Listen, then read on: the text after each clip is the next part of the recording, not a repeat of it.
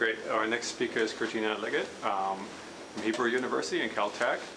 She's going to talk about accuracy first, even though this is the last talk, sadly, for the for the workshop. But, um, this is, you know, the workshop priorities are different. Accuracy is last for us, but you know, last. Hi, great. Thanks for having me. Thanks for this really interesting workshop. Thanks to all the organizers and to everyone at Simons for making this happen. Uh, so, I, the motivation for this talk is, as we all, oh, so first I should say, this is joint work with folks at Penn, Seth Neel, Aaron Roth, Bo Waggoner, Steven Wu, uh, will appear at NIPS.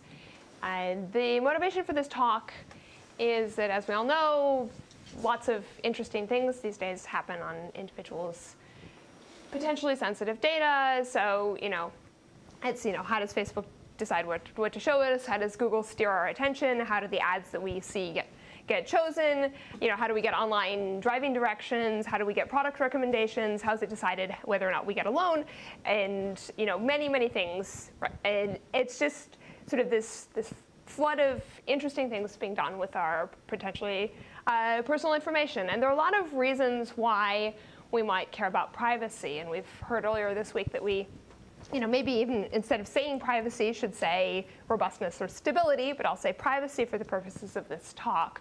But so why, why should we care about privacy? And um, beyond our interest in robustness and stability, um, there, there's privacy for, in some sense, privacy's sake. So privacy for legal or regulatory requirements, privacy to avoid getting in trouble and having your hands on data that you don't want to have, either because you're worried about leaks or subpoenas, uh, privacy uh, for the purposes of sort of brand identity or public perception, which is maybe what we see um, in some applications of uh, differential privacy technology. Uh, but for, for many reasons, uh, we might be interested in imposing a robustness, stability, privacy type of guarantee on our computations. Um, and in some cases, it's really privacy first, or we might hope that it would be privacy first, or robustness first, or stability first. Uh, that the, we have a sort of well understood, in some sense, literature at this point talking about when you have a privacy requirement that's binding, or a stability requirement that's binding for your computation, um, how can we go about minimally impacting the accuracy of the computation?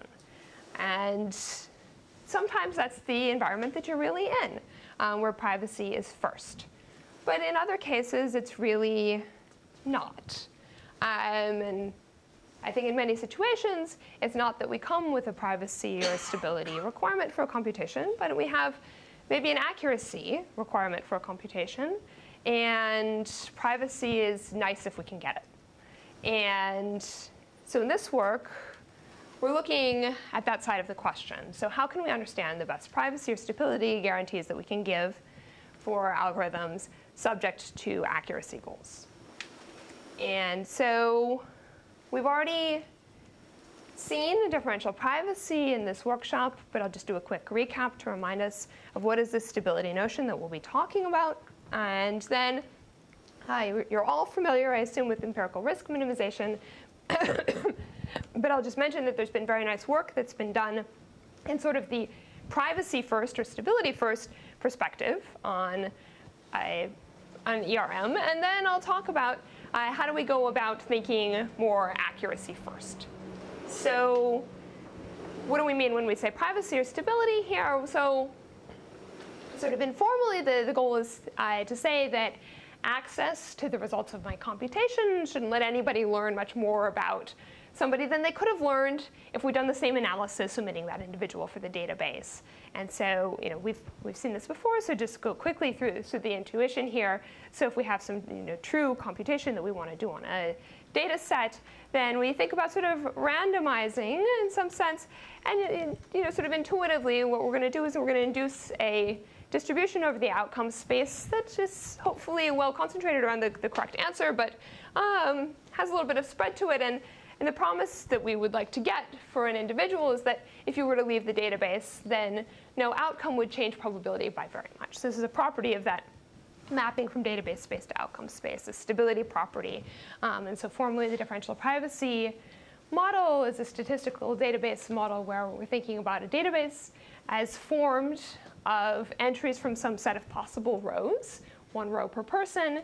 And the analyst wants to compute on such a database and preserve the privacy of individuals. So we want to design some randomized algorithm that's going to map from database space into outcome space to mask small changes in the underlying input database. And so what do I mean when I say small changes? the, the usual notion here is that we want to require nearly identical behavior on databases that differ by the addition or removal of a single row. And so given that, we can talk about this stability property of a computation, which is just to say that for any pair of neighboring data sets, D and D prime, and for any subset of the outcome space that you might be interested in, the probability that your algorithm will map the first database into that subset of the outcome space is going to be very close in this differential privacy of nearness, nearness sense uh, to the probability that we'll see an outcome in that subset uh, under the neighboring database D prime. Of we think about this as being some small uh, multiplicative difference, and sometimes we also uh, will talk about some, some additive difference. But just thinking back to our intuition, is this is basically saying that they, as you fix the behavior of your algorithm on some particular input database, it, it, it imposes constraints on the behavior of your algorithm on, on similar databases. Okay, and then thinking just since we haven't been thinking about privacy for privacy's sake so much this week, thinking about the perspective of an individual, uh, considering whether or not to submit their data or participate truthfully in a computation who's, uh, who enjoys where the computation enjoys a guarantee of differential privacy, the individual might might be hesitating because of concern about particular outcomes or consequences uh, that might occur maybe immediately or down the line as a result of this computation being done. And what differential privacy says to that individual is, well, if you identify those potential bad outcomes and, and think about them and what, what are the odds that they'll occur if you participate in the computation, well, actually, they'll, they'll occur with almost exactly the same probability if you were to withhold or lie about your information. So the stability property um, gives some guarantee to individuals or give some threat to individuals that about the same things will happen regardless of whether or not you participate. And like I mentioned, we also sometimes talk about this epsilon delta parameterized version of the stability notion, where we have not just a multiplicative change in the probabilities, but also an additive delta change. And we've seen some properties of the stability notion already, but I'll just remind you of the ones that are most relevant to us today. Uh, so the first of these is post-processing, um, which just intuitively says that any subsequent computations and the results of a differentially private computation maintain the privacy or maintain the stability. And then the one that we've seen a lot of emphasis on, of course, is this composition notion. Uh, so intuitively, just to remind you, what composition is telling us is that if we run multiple differentially private algorithms, we can still reason about the overall stability. So very informally, this is a statement that the epsilons and the deltas add up in some sense. And this is very nice for the reasons that we've seen so far this week, but also just because it, it allows us to do a very simple privacy analysis of even of potentially very complex algorithms, sort of related to some of the themes we saw earlier today. And, and this is particularly powerful and gives us sort of the, the nice adaptive data analysis consequences that we've seen earlier uh, because these guarantees of composition hold even if subsequent computations are chosen as a function of previous results. And, um, so because this is not the focus here, we'll just sort of take, take the, the composition guarantees uh, as given, but this is really sort of what makes differential privacy tick. It's what makes differential privacy such a nice notion is that it lets us build up uh, more sophisticated algorithms from these very simple building blocks. And perhaps the simplest building block and the simplest differentially private algorithm is the Laplace mechanism, which is just, just a name for the direct addition of Laplace noise. So this is a way of achieving a differential privacy guarantee um, on a numeric computation. And so the, the amount of noise that, that you need to add scales with the sensitivity of the computation. So how much that computation can change if you add or remove one person from the input database. And so this, this building block is going to be sort of the, the essential building block that we'll need uh, for our discussion today.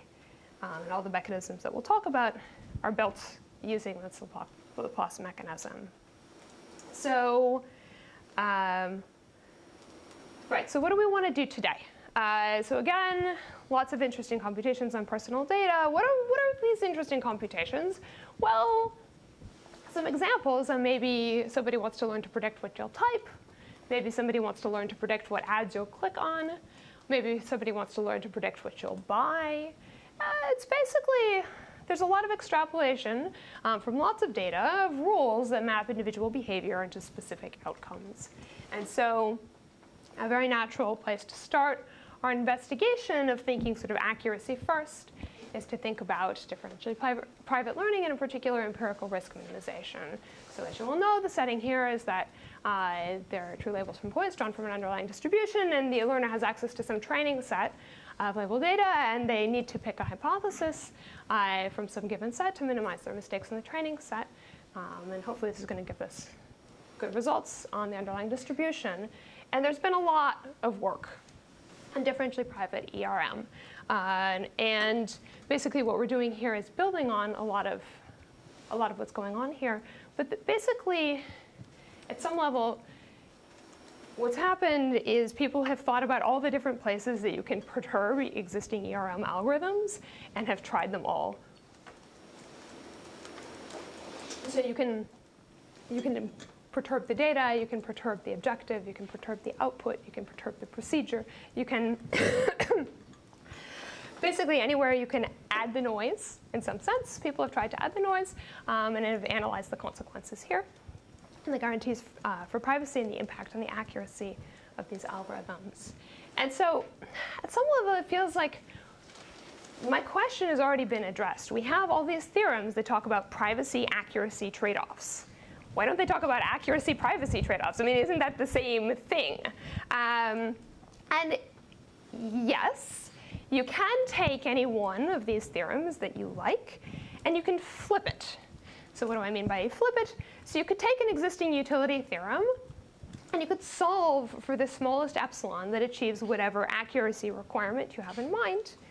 And then you could run your algorithm with the corresponding epsilon, and that would achieve what I'm setting out to achieve here. It would be sort of an accuracy first approach uh, to performing privacy preserving empirical risk minimization. And it's, you know, it's a completely sound approach, but it's maybe not as good as it could be. So why not? Well, existing utility theorems are really worst case um, and algorithms often may provide better accuracy privacy than they promise. It's one of the issues is that we have some sort of sloppy constants that haven't necessarily been, been optimized away. And then maybe sort of the more interesting issue in some sense is that a specific data set or a specific outcome, uh, sort of property of, of the outcome that you actually have on your data, might allow for better privacy utility trade-offs than these worst case theorems would tell you.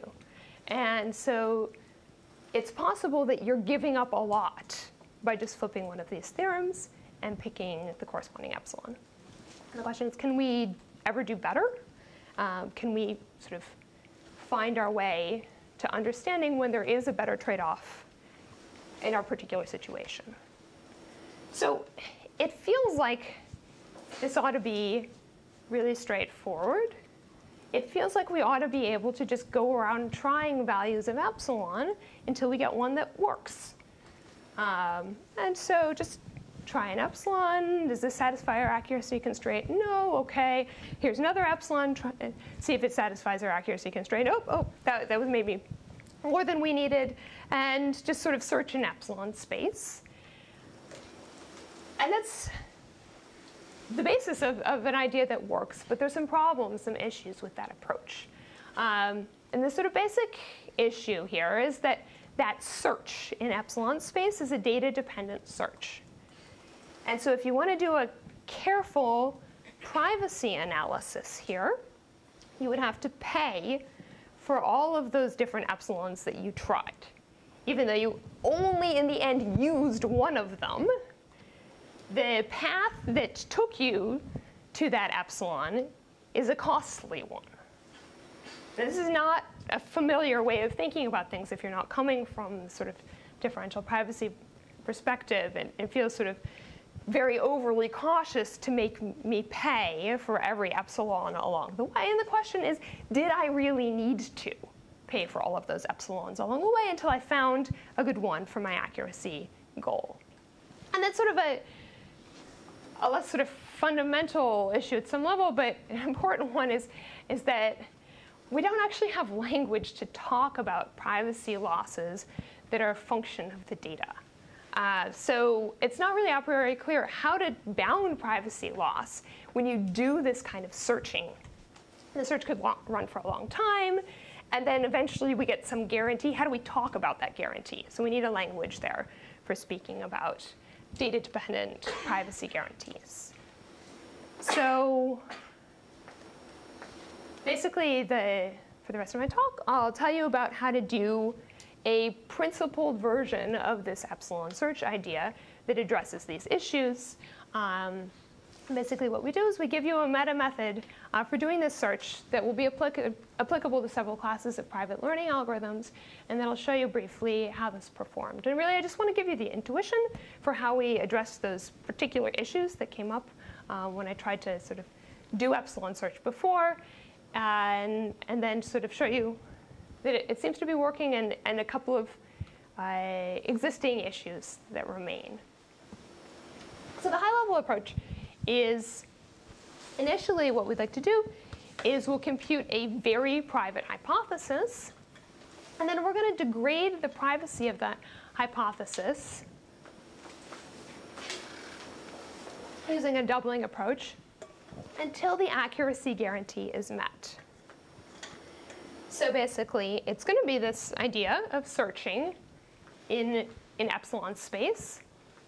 But to avoid paying extra, to avoid paying for all of the epsilons that we try along the way, we'll use noise across our rounds that's correlated. So that effectively you can subtract noise from the previous round to get the next round. And it's going to allow us to avoid paying for each time. And then in order to uh, allow us to check and pay appropriately in terms of privacy, uh, check whether our accuracy guarantee has been met, we come up with a new algorithm uh, to address that issue. And in the end, we're able to only pay the privacy costs of the final hypothesis. So those earlier epsilons you tried are free, but we do have to pay for the checking, the checking at each round, whether or not you've actually picked a suitable epsilon in terms of your accuracy goal. Okay, so and then we have this issue of how do we talk about these guarantees. Uh, so this approach doesn't satisfy any sort of a priori epsilon differentially private uh, guarantee for any fixed epsilon. But if it terminates after k rounds, it seems to satisfy some sort of bounded privacy loss ex post. And so I, this is related uh, to ideas that come out in this work of Rogers, Roth-Ullman, and Vadhan, um, known as privacy odometers. There, the, the goal was to develop a theory of uh, privacy composition uh, when the data analyst can choose the privacy parameters of subsequent computations as a function of the outcomes of the previous computations. and sort of in this theme, introduce, excuse me, the concept of ex post privacy loss and of ex post differential privacy guarantees. Excuse me. Where the notion is defined perhaps pretty much as you would expect. So the, we talk about the ex post privacy loss of a randomized algorithm on an outcome. So now privacy loss is specific to an outcome of, of the computation. It's the maximum over pairs of neighboring databases of the log of this probability ratio, so just the probability that we select that outcome under the, the one database and the probability if we, that we select that outcome under the neighboring database.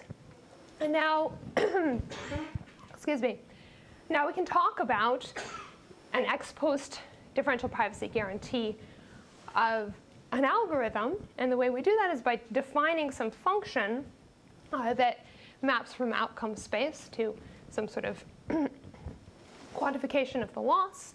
And now we can say that we satisfy this function of outcome, ex post differential privacy, if for all outcomes our loss is indeed bounded by this function. So now we have a language, at least, for talking about ex post privacy guarantees. Now let's go back to trying to achieve ex post differential privacy. Uh, so, so I mentioned we have this approach that allows us to not pay for every round, which is this notion of uh, correlated noise. So this is an idea that comes out of a paper of uh, Koufagiannis, Han, and Pappas of this year.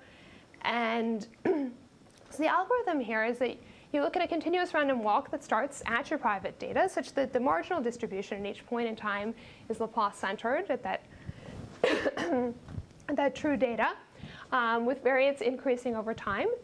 And so now we have basically a sequence of points where more private points can be derived from the less private ones. And in order to get what we need, we just need to reverse this process. Okay?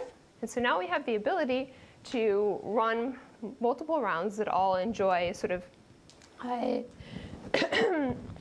less and less privacy, um, and where we can eventually sort of find our way to the, the right level of epsilon without paying for the earlier ones.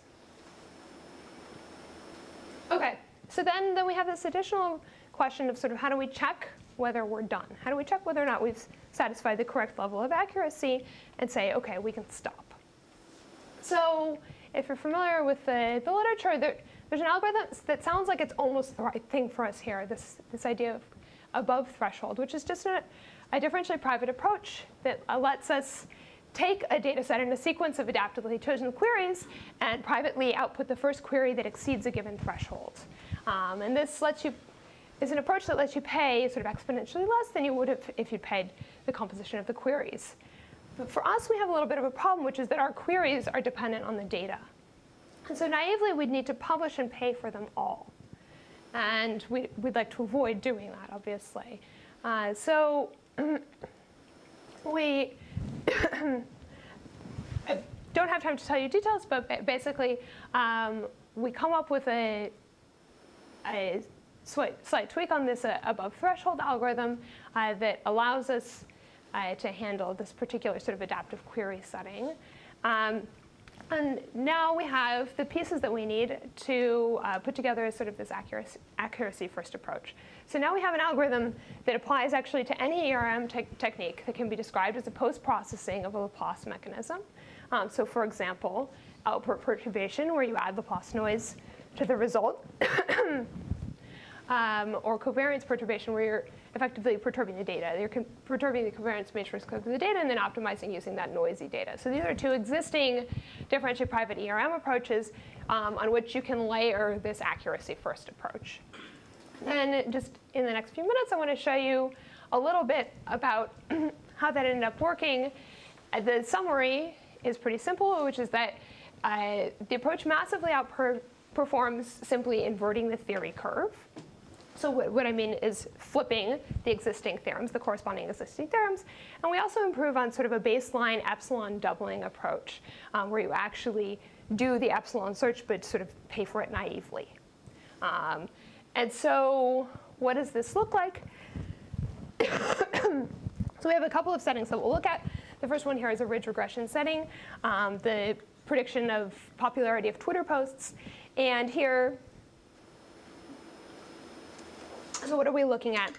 So we're looking at this plot of the the excess error guarantee, so this is the, the alpha that we demand, the accuracy that we demand.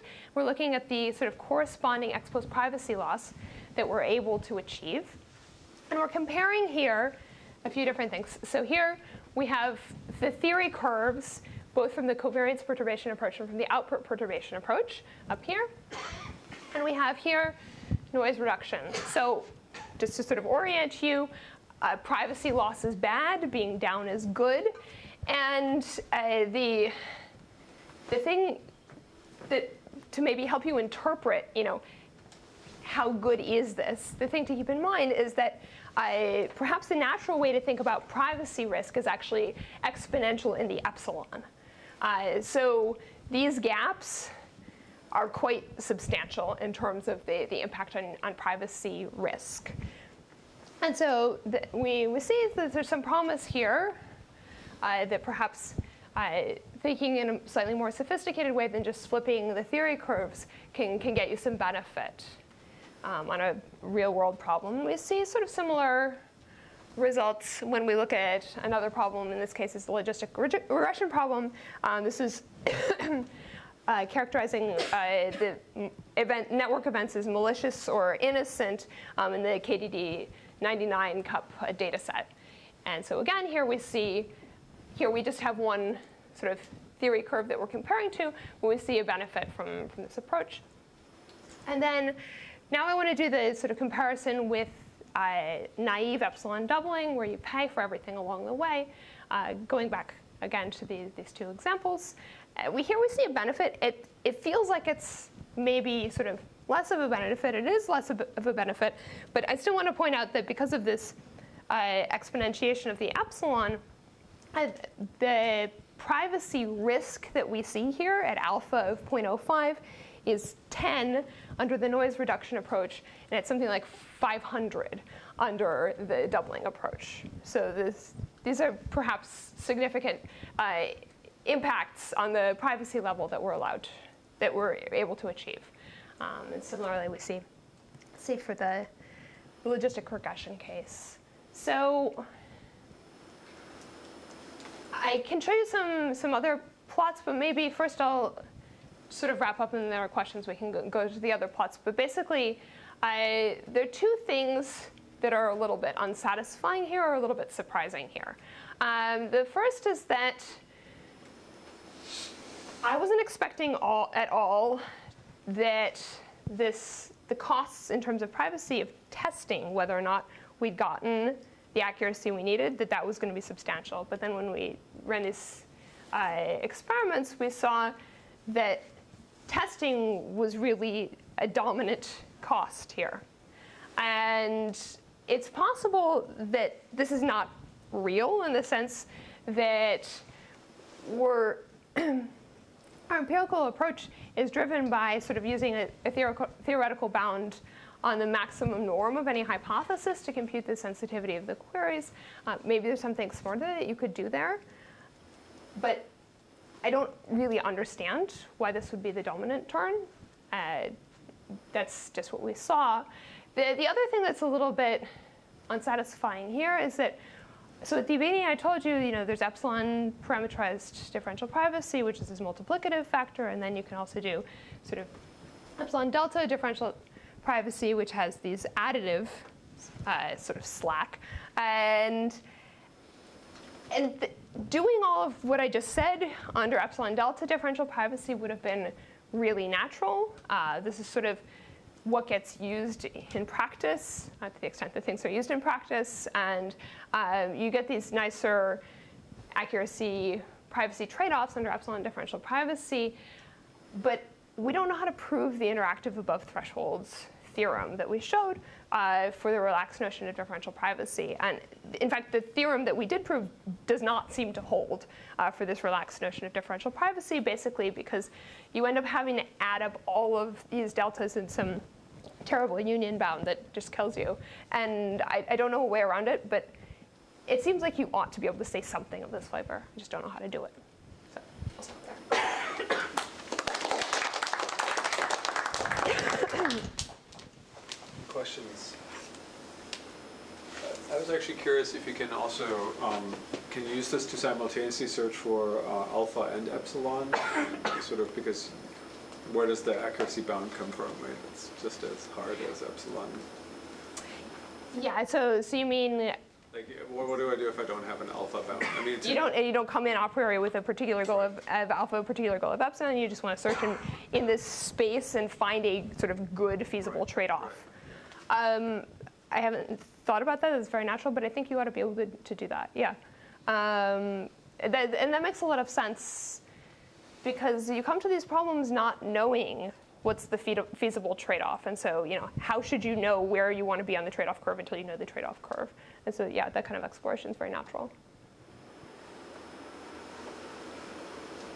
All right. Thanks, guys. Thank all the speakers uh, for today. Um,